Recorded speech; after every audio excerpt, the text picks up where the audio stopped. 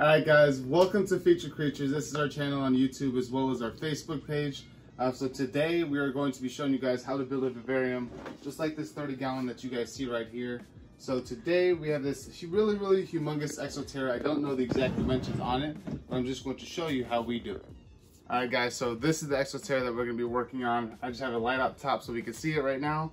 But the first thing that you guys always want to do when you guys have a bioactive enclosure, for most enclosures, not every single one, but for most, especially if it's going to hold a lot of water over the lifetime, is that you want to have a false bottom or just a drainage layer. So we're going to be doing that with these guys right here. So this is just pea gravel, and that is going to make up the entire false bottom for us. So let me go ahead and pour these guys in, and I'll be right back. All right, guys, so now we went ahead and cut the window screen mesh out. So all this is, is literally a window screen mesh. It just goes over your window to help keep mosquitoes out. But in our case, it's gonna do a little bit of a different thing. It's still gonna be a barrier, but it's just not gonna be a barrier against the mosquitoes anymore. So we, when we put this on the rocks, when we use pea gravel or something small like this to create a false bottom, it's easier to get that flat. And uh, once you get that flat, you could put, you can cut it to the dimensions of the tank and just put it exactly across the rocks. I cut mine just a little bit larger, just so the back part can curl up just a little bit, but I do want that front part to be flat, so you don't really see the difference between, you see just a clear division between the rocks and the dirt, and you don't see them blending together. So then now that that is done, now we're going to add the main part of the enclosure, which is going to be the substrate. I'm going to show you guys what mix I use for my, my substrate as well. Alright guys, so this is the bin that we're actually going to mix all of our uh, materials in. So what I got right here is I got some water, um, some distilled water or you know dechlorinated water. I got sphagnum moss. I got the dirt that we like to use, especially that we breed all of our isopods in, as well as all of our sanitized leaves that we got, that we uh, got and sanitized this fall. So there's a lot of different stuff in here, as in like little sticks and stuff like that that will be good for the enclosure overall. So we're gonna start off with the dirt. So this dirt, if you guys wanna come a little bit closer, you guys can go ahead and see the consistency of this. Which is not just like a regular, regular dirt. There's like little wood chips and stuff like that in there, which I think is a great base to have a nice aeration within your dirt. And then the sphagnum moss is going to add on to that. What I'm going to do now is just mix some of this dirt in. I'm only going to do a little bit at the, a little bit at a time because it is kind of hard to mix the dirt with the sphagnum moss once you put a little bit too much in there. Come take a look at this dirt and the consistency of it. So it's not just plain, it's not just regular dirt. Um, there is like little parts of wood chips and other, it is all organic, so organic wood. And that's gonna be a great food over the lifetime for the isopods and all the other decomposers that we do put inside, which are also called microfauna. So then what I'm also going to do here is now I'm gonna add leaves to this. So the leaves are going to be some of the main food sources.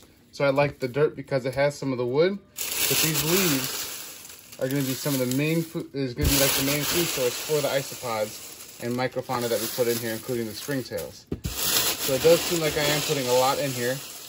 But don't worry, over time this is all going to be mixed in. The sphagnum moss is also going to help aerate it. We're going to give it a nice watering. And then once we do that, just like that. I feel like that is enough. And then once we put just the sphagnum moss like this in there, this is the same sphagnum moss that we use obviously for all of our other enclosures. There's sphagnum moss in this tank. If you want to take a look right here, you can see the sphagnum moss right in that tank right there. And right there, there's sphagnum moss in that enclosure as well. And that enclosure has been thriving for around eight months now. So what I'm going to do here is just break up the sphagnum moss Obviously, it is all dried. Then, like I said, when we got all these extra leaves and extra pieces of wood, that's even a, a great, great component for the longevity of this enclosure. So this enclosure, I'm actually going to be moving my lizard Nelly inside this enclosure and uh, start getting her a few friends, as well as putting some of my other isopod species in here. So, but first, this is just going to be a part one of the video, because part two is us actually going to get the different plants to put in there. Say I'm going to put a golden pothos, but I do want to look into some other plants to put in there. So then I would say this is about as much as you would need. You can obviously go a little bit less if you want to feed your roly-polies and you could be a little bit more interactive with your enclosure.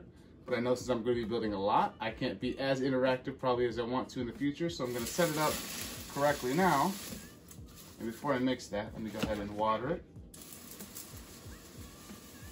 So once the sphagnum moss gets wet and it goes ahead and uh, you put it inside of your enclosure, it's gonna stay damp and moist. This is gonna help a lot of aeration and a lot of air to just be within the soil. That's gonna be good for the earthworms, for the springtails, for the uh, isopods, and give them a lot of different places to travel inside of the enclosure. So I am gonna put a lot of water this first time, and then I'll just top off or just spritz it with water every watering after this. Now, once I set up this enclosure before, I only had to water this enclosure one time um, every month. And it was enough for the lizard, which is a Nelly. She's still in that 30 gallon right there. And uh, enough for some other lizards that I had before um, to be in their enclosure.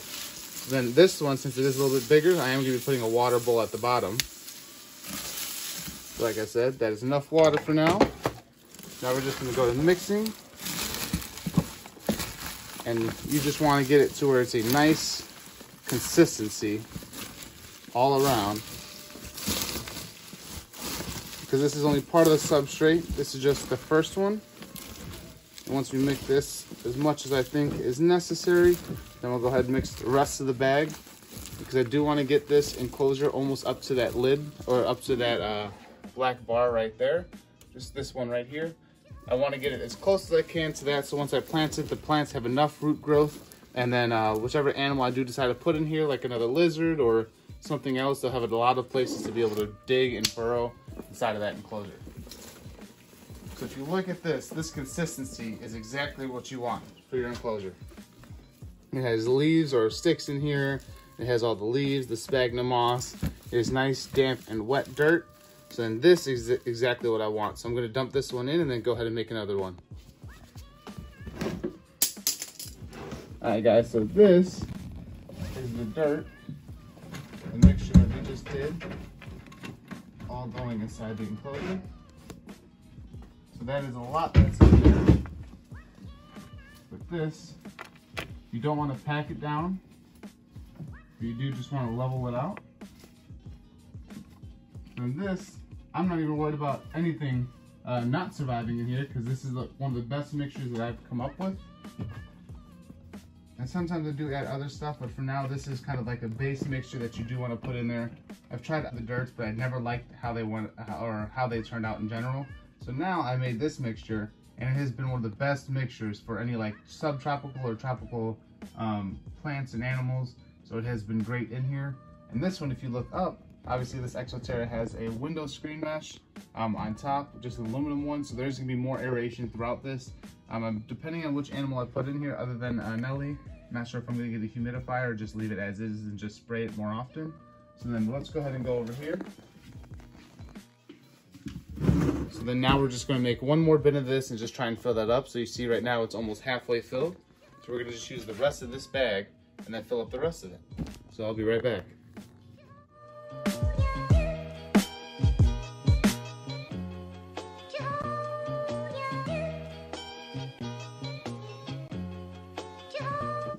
Alright guys, so I went ahead and mixed this one up and to me, that looks great. All isopods are gonna have tons and tons and tons of places to stay.